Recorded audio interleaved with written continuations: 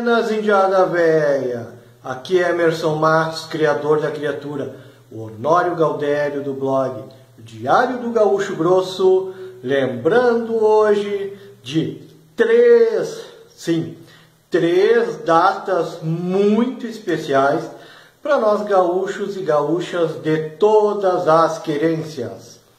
Hoje, dia 24 de abril, comemoramos o dia do tão amado chimarrão, do tão amado churrasco e também do tão amado e lembrado primeiro CTG do estado do Rio Grande do Sul. Sim, dia 24 de abril comemoramos o dia do churrasco e o dia do chimarrão, principal símbolo da cultura gaúcha no mundo todo.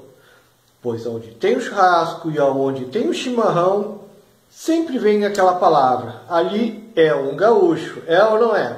Com certeza. Assim como a, bomba, a bombacha e outros símbolos que podem nos entregar né, sobre a nossa cultura, entregar que ali tem um gaúcho, uma gaúcha, né? Também, hoje, no dia 24 de outubro, lembramos o dia em que Paixão Cortes e o grupo dos Oito, no ano de 1948, inauguraram o primeiro CTG do mundo. Sim, não é exagero, até porque grandes uh, cidades no mundo todo hoje têm CTG, não é mais só aqui no Rio Grande do Sul, no Brasil. Né? Em 1948, Paixão Cortes e o Grupo dos Oito fundaram o CTG 35, que fica na cidade de Porto Alegre, ali na Avenida Ipiranga, ao lado do Bourbon da, da Ipiranga ali, né? Bom, eu posso dizer porque eu me criei ali. Meu avô, minha avó, minha bisavó, bisavô moraram ali atrás do CTG 35. Eu sou da época que tinha, em vez do shopping ali do Bourbon da Ipiranga, o pessoal do CTG criava, deixava os cavalos soltos ali e a gente ia brincar ali. Então eu passei a minha infância basicamente ali do lado do CTG 35. Então eu vi toda, claro, não desde 48, porque eu nasci bem depois, mas eu peguei aquela parte em que tinha só campo ali, tinha cavalo, criava ali e tive uma boa infância ali no Jardim Botânico.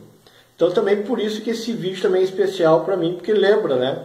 Participei, do, apesar de a minha vida como gaúcho foi no CTG Tiaraju, mas o CTG 35 também me tem uma boa lembrança. E hoje é o dia que lembramos a inauguração. E principalmente Paixão Corte, né? Porque a lenda, hoje no Rio Grande do Sul, a cultura gaúcha devemos a, ao grupo dos oito, né, Barbosa Lessa, entre outros, mas sem dúvida nenhuma, até ao Paixão Cortes, pois além dele ser o próprio laçador, né, a estátua do laçador ter sido utilizado o molde do corpo, do rosto, enfim, o próprio Paixão Cortes, inúmeros livros uh, ele buscou, recordou e nos trouxe a cultura gaúcha como nós conhecemos hoje.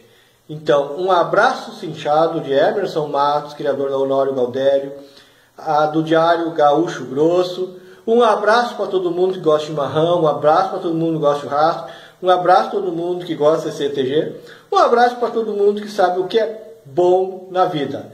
Um abraço cinchado e até o próximo vídeo, Indiada Véia.